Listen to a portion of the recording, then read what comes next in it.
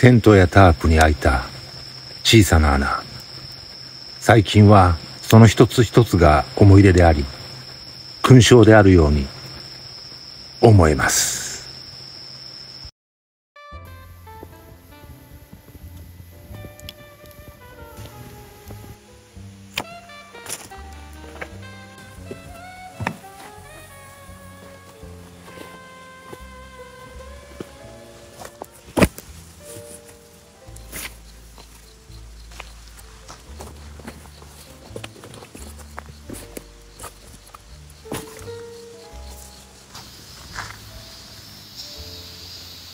パップテントを張りました。約2年ぶりのテント泊です。最近は車中泊キャンプばっかりだったんですけど心境の変化ですかね。ずっとねポーランド軍のポンチョテントとかドイツのパップテントとかそんな群幕ばっかりだったんですけど今回は河川のパップテントを導入しました。広くてね一人ではねなんかドギマギしますね。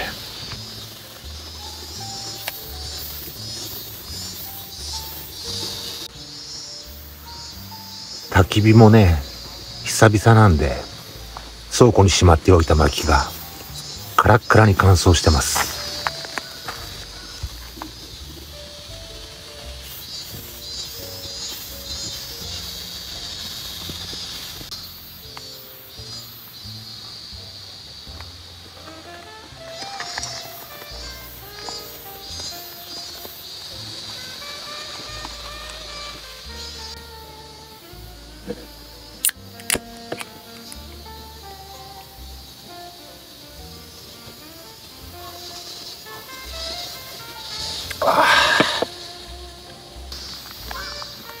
今日のランタンはもうボロボロになったヒュアハンド。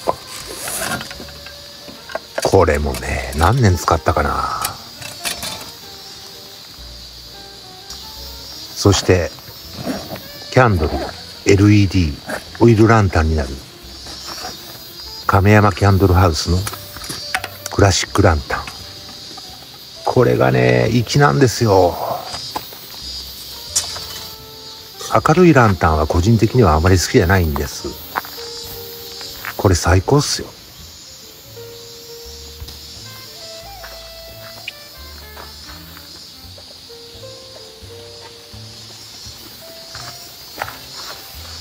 撮影用にね明るさが必要な時はこのレールロード風の LED ランタンを使ってます。そして虫置きキャンドル。まだまだ虫が出ますからね。これ夜お見せしますけど「てんてんてん」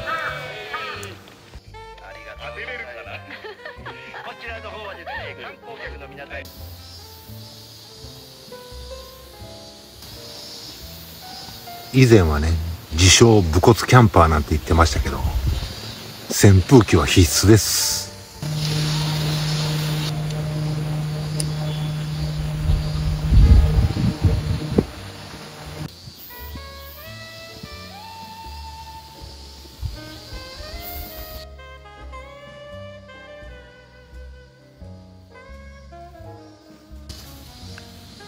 これはポーランド軍のクッカーなんですけど、使い倒しましたね、これも。ほんと。かなり味が出ました。お昼は簡単に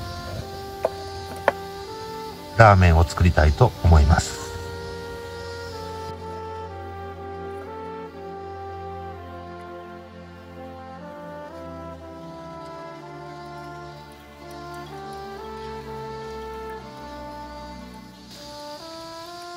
今9月上旬なんですけど日中はね暑すぎて焚き火をする気にならないんでお昼はカセットコンロで作りたいと思います。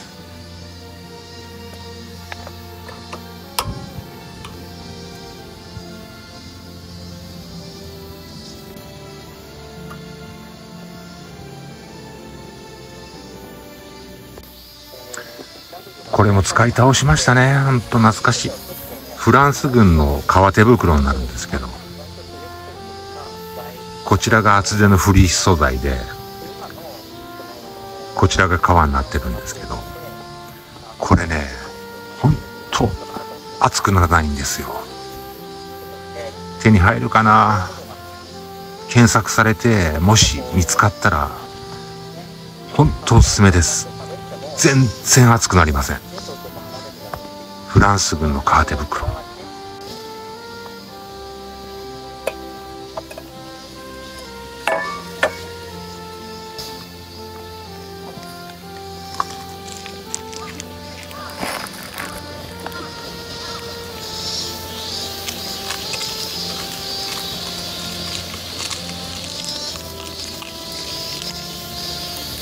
スープは先に入れる派です。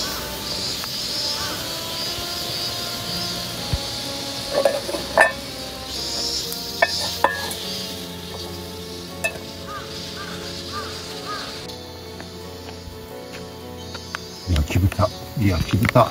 焼き豚。焼き豚。焼き豚。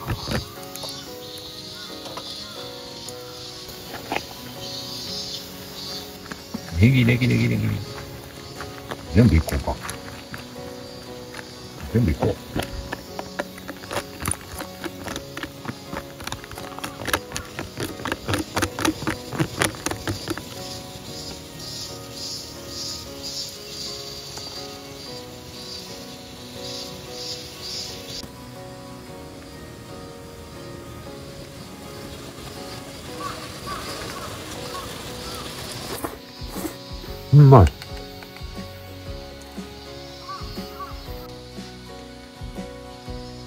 寝袋は世界の冒険家が愛用している。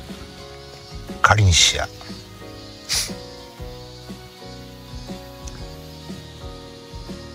そしてこれはポーランド軍の弾薬庫のレプリカになります。味が出てきましたこいつも。めちゃめちゃ丈夫でキャンプ道具兼防災グッズを入れてるんですけどほんと買って正解でしたね。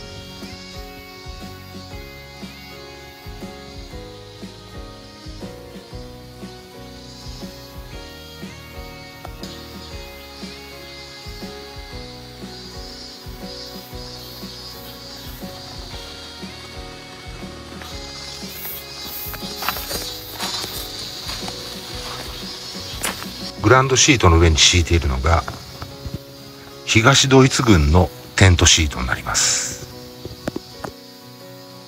そしてよいしょ。こちらが子羊のラグですね。あったかいっすよ。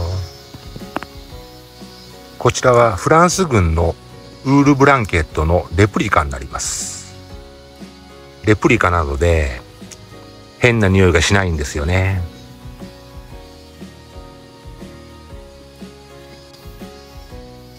マットは以前ネイチャーランドさんから提供していただいたエアマットを使ってます。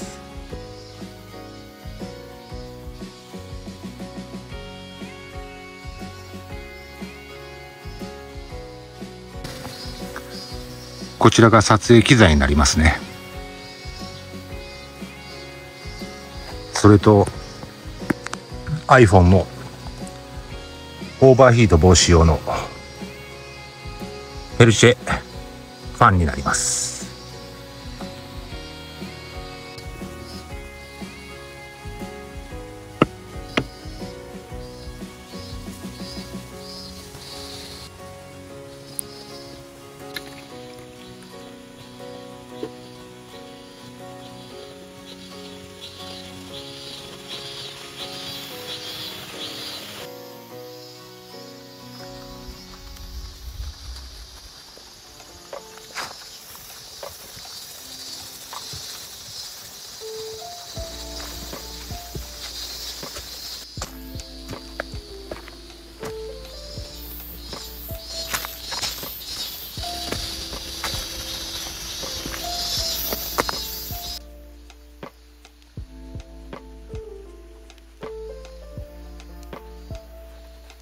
大事にしてると。もともと腕が遅れて出てくるので遅れすぎるとかなり球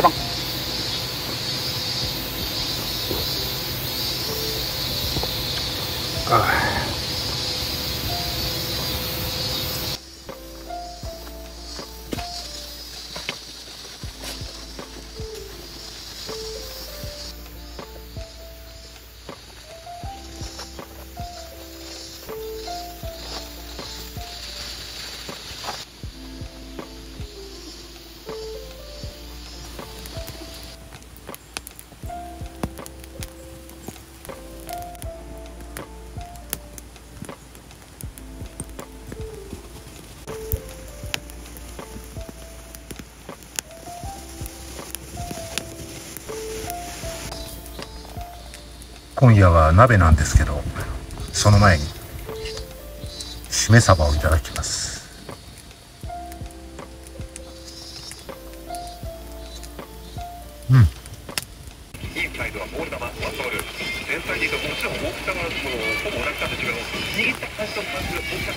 この焚き火台1400円なんですけどきっちり熱を下に伝えないシステムになってます。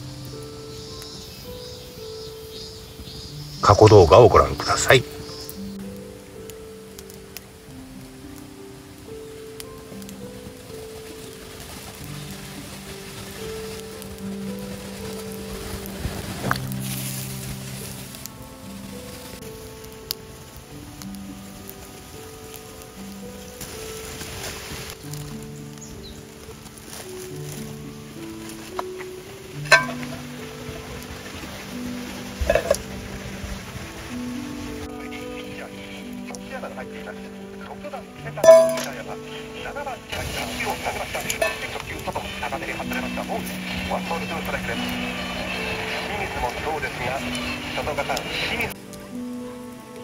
火力が収まったので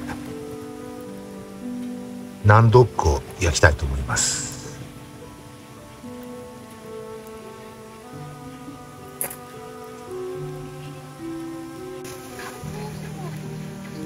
ウインナーをなんでくるんでるんですよ。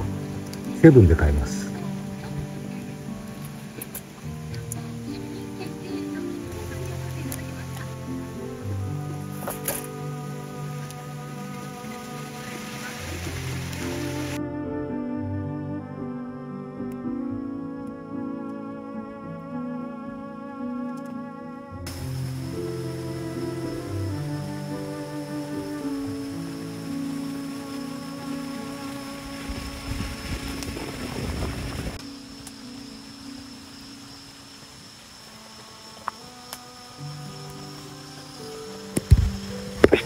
えー、なんといってもですね、大田の大穴子を、使用した料理が人気です。うん、大穴子有名ですよね。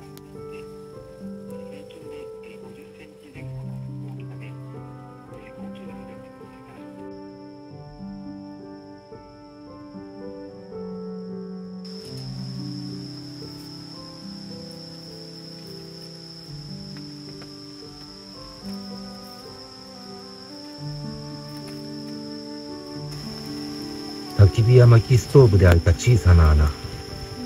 その一つ一つが思い出であり勲章であるように思えるようになりました。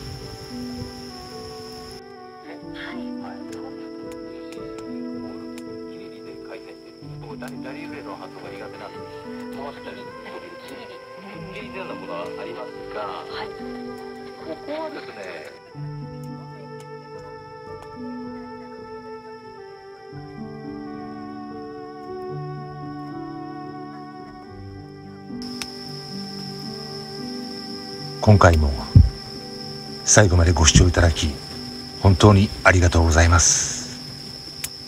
ではまた他の動画でお会いいたしましょう。よかったら足跡ついでにチャンネル登録をよろしくお願いいたします。ではまた。